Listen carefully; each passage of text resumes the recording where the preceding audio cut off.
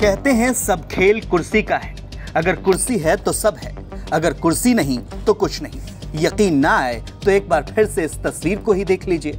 आरोप है कि यहाँ कुर्सी पर बैठने को लेकर ऐसा बवाल मचा कि बीजेपी नेता आपस में ही नोकझोंक करने लगे। वो भी एक दो लोगों के सामने नहीं, सैकड़ों लोगों के सामने। तो हुआ ये समल में विश्वकर्मा जयंती और प्रधानमंत्री नरेंद्र मोदी के जन्मदिन पर बीजेपी जिला प्रभारी और जिला उपाध्यक्ष के बीच तीखी बहस हो गई। श्रमिकों वाली लाइन में एक बुज़ुर्ग को कुर्सी पर बिठाने को लेकर पूरा मामला शुरू हुआ। प्रधानमंत्री के वर्चुअल कार्यक्रम में आगे की लाइन में श्रमिकों को बैठना था। उसी लाइन में एक बुज़ुर्ग को कुर्सी पर बैठा दिया गया। कुर्सी पर बैठने को लेकर बीजेपी के जिला प्रभारी राजा वर्मा और जिला उपाध्यक्ष सतीश अरोड़ा के बीच विवाद हो गया। और विवाद का वीडियो सोशल मीडिया पर खूब वायरल होने लगा। कोई गाली गलोच नहीं हुई। सामान्य रूप से एक कुर्सी को लेकर थोड़ा सा आपस में बात हो गई थी। ऐसा कुछ नहीं है। परिवार का है। कार्यकर्ता थोड़ी भीड़ कार्यालय पर अधिक थी। मानव मोदी जी के जन्मदिन के उपलक्ष्य में हमने हवन किया था। उसके बाद कार वर्चुअल सम्मेलन को सुना था। तो अगली लाइन श्रमिकों के लिए छोड़नी थी तो उस बात को लेकर थोड़ा सा आपस में हो गया था। लेकिन सब एक परिवार है। कोई ऐसी बात नहीं। ना आपस में कोई ज़्यादा हुई और दोनों लोग बाद में आपस में मिलकर भी गए हैं कहीं कोई ऐसी बात नहीं। सोशल मीडिया वीडियो भी वायरल हुई है वो बातचीत करने में थोड़ा सा लोगों को लगा होगा लेकिन कहीं कोई ऐसा आपस में कोई वो नहीं है जब सामान्य रूप की घटना थी कोई ऐसी बात नहीं। वहीं इस मामले पर जिला अध्यक्ष ने बयान जारी करते हुए कहा कोई विवाद या गाली गलौच नहीं हुई है कार्यक्रम के बाद सब आपस में मिलकर गए हैं।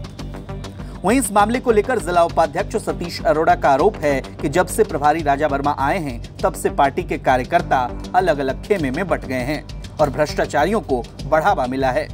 जितने भी टिकट मांगने वाले राजनीतिक लोग हैं, उन सभी के पैसे भी इनके ऊपर निकल रहे हैं और पिछले दिनों पैसे वापस मांगने को लेकर भी विवाद हुआ है। संभल की धरती पर तमाम जनप्रतिनिधियों का अपमान हुआ है। नरेंद्र मोदी जी के जन्मदिन के अवसर पर जो है, नए जिलाध्यक्ष हरिंदर सिंह रिंकू जो संबल जनपद के जिलाध्यक्ष बने, उनका स्वागत समारोह था। आज भारतीय जनता पार्टी के जनपद के पदाधिकारियों ने पूरे संबल जनपद से हज़ारों लोगों को आमंत्रित किया था जिलाध्यक्ष के सम्मान के लिए। उसमें माननीय प्रभारी मंत्री धर्मपाल सिंह जी भी आए थे और जिला के प्रभारी जो है राजा वर्मा, वो भी आए थे। परंतु राजा वर्मा जो है, विगत पीछे काफ़ी समय से जो विवादित चल रहे हैं उनका उद्देश्य जो है रिंकू को बनाने का नहीं था, वो किसी और को बनाना चाहते थे। इसी उपलक्ष्य में वो आज कार्यक्रम से खुश नहीं थे। हज़ारों लोगों के आने से वो खुश नहीं थे। वो बात बात पर विवाद करना चाह रहे थे। उन्होंने जिलाध्यक्ष को एक भी माला नहीं पहनने दी और जिलाध्यक्ष का किसी को सम्मान करने नहीं दिया। और जो भी मेहमान आए थे, दिल्ली से मेहमान आए थे बड़ी बड़ी दूर दराज से मेहमान आए थे, उनके साथ अपमान किया, उनका दुर्व्यवहार किया उनके साथ और उन्होंने उन्हें कुर्सी से हटा करके अलग बैठने के लिए आदेशित किया। और कार्यकर्ताओं के साथ इस तरीके का व्यवहार कर रहे थे कि कार्यकर्ता जैसे कोई दोषी हो या मुलजिम हो, ऐसा दुर्व्यवहार वो कर रहे थे। इनकी ने, नेचर में है। इन्होंने जब से ये आए हैं संपल जनपद का बुरा हाल हो गया है। कार्यकर्ता छोटे छोटे ग्रुपों में बढ़ गए हैं। भ्रष्टाचारियों को बढ़ावा देने का इन्होंने काम किया है। तमाम जितने भी राजनीतिक लोग हैं जिन्होंने टिकट मांगे, उनके पैसे इन पर निकल रहे हैं और तमाम पैसे मांगने को लेकर के इनसे तमाम विवाद हुए हैं।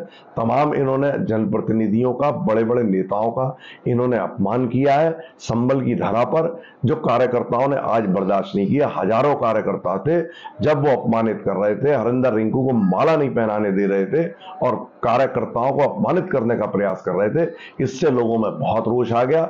उसके बाद मैंने कहा कि तरीके का अपमान करना आपकी कौन सी सभ्यता है? संभल से अभिनव माथुर की रिपोर्ट यूपी तक।